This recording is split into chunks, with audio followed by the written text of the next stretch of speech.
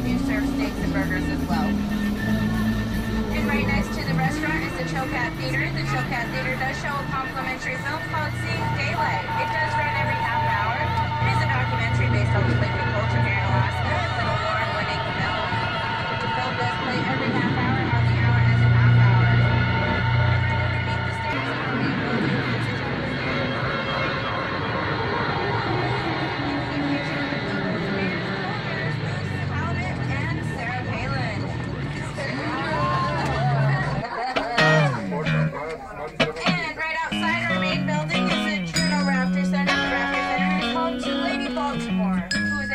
Bye.